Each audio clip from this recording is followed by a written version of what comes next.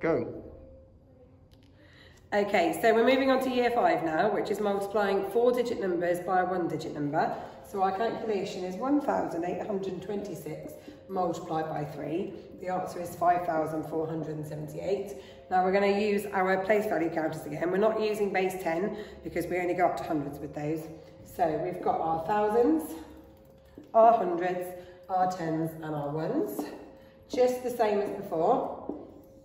And so we've got 1,826, 1,826, and we're multiplying it by three. So we're going to use our colours again. So I've got six ones, we're going to use counters.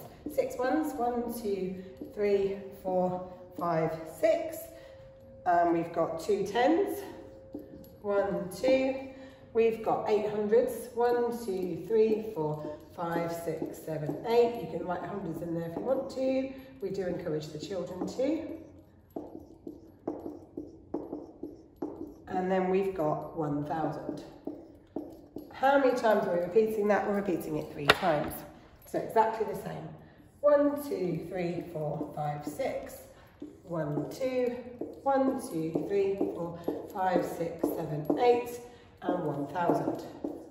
Again, get the children to write in the numbers. And then last one, one, two, three, four, five, six. Two tens, eight hundreds, and 1,000. And then just like before, we're now adding them up. Remembering, 10 of these make one of these, 10 of these make one of these, 10 of these make one of these. So let's do our counting. 1, 2, 3, 4, 5, 6, 7, 8, 9, 10. 10 ones makes 1 10. 1, 2, 3, 4, 5, 6, 7, 8 left over. Then I've got 1, 2, 3, 4, 5, 6, 7 tens.